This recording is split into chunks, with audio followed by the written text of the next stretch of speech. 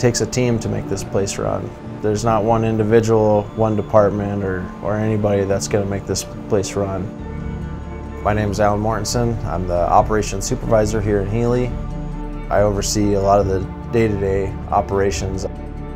Electricity here in the interior of Alaska is an extremely important thing. It provides heating for families, electricity for hospitals. It powers the military bases here that's important for defense of the United States.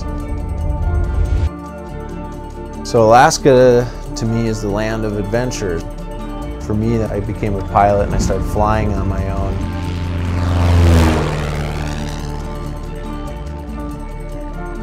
The adventures here are just endless. You know, we're down here in Healy. It's almost like a big, a big family, really. I really see the, the camaraderie. It's what makes this place run, I, I feel like anyway. It feels good to be in a position and do a job where I am able to give something back to uh, Alaska and the Alaskan people.